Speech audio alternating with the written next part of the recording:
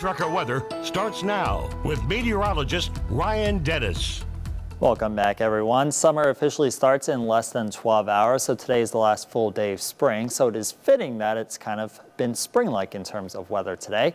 Temperatures right now are on the cool side, a lot of us only in the 50s, but it is a little bit warmer on the eastern half of the high line with temperatures in the mid to upper 60s and low 70s. It's also been breezy throughout the day and we're still dealing with breezy conditions right now. Sustained wind speeds between 10 and 20 miles per hour. On the Great Falls, Killiniq we've had overcast skies throughout the day today and there has been some rain around during the day today as well.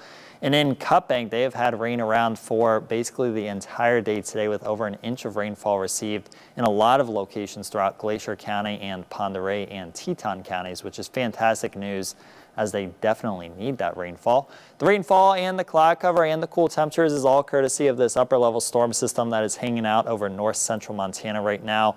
We have had areas of rain around throughout the day today, and some of that rain has been moderate to heavy at times. And the bulk of the precipitation has been along and west of I-15. That's where we're still seeing a lot of that rainfall right now. And notice in the higher elevations, even a little bit of snow around today. And there is a flood advisory in effect for portions of Glacier County and Pondera County until 9 p.m. this evening. There has already been small stream flooding and we are going to continue to have small stream flooding for at least the next few hours. So just be aware of that if you are going to be out or near any of the waters. We do have a flash flood watch in effect for Broadwater County and Meagher County, specifically for the Deep Creek and Woods Creek burn scars where we could see some flash flooding or debris flows as we go through the rest of this evening and tonight.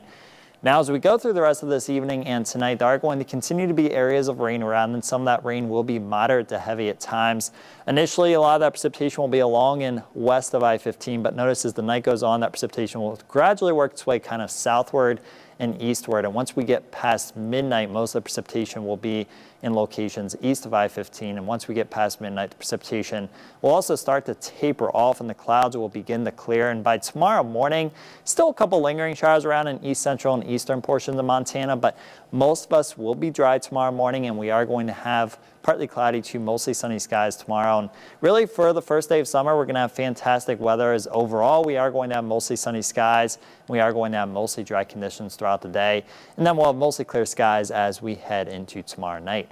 Overnight tonight, the wind won't be terrible, but it will continue to be breezy in spots, especially east of I-15. And then for tomorrow, a bit of a breeze around in central Montana. The worst of the wind tomorrow will be in eastern Montana, where it will be breezy with wind gusts up to 40 miles per hour possible at times. That wind will then diminish as we head into tomorrow night. Low temperatures tonight are going to be in the 40s for a lot of us, so it will be a cool night. And some fog may develop later on tonight. So just be aware of that if you are going to be traveling anywhere. Some 50s for lows along the eastern half of the high line. Tomorrow will be warmer than it was today with high temperatures getting into the 70s in many locations. And really once we get through tonight, the weather is going to be fantastic for the rest of the week. Yes, there will be wind around, but we're going to have a lot of sunshine and mostly dry conditions and temperatures generally in the 70s and low to mid 80s and pretty nice weather for the rest of this week in the capital city.